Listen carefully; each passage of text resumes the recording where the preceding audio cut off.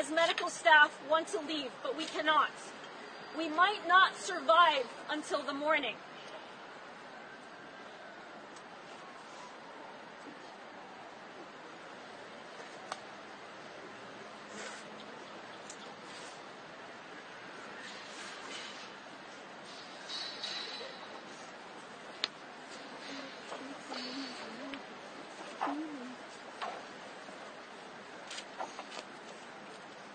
Shifa, Arabic for healing.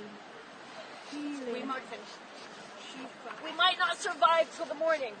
We don't want to be killed here. Just only because we remained committed to our patients and our medical profession. I am calling for help urgently. Please do whatever you can through your government or the international,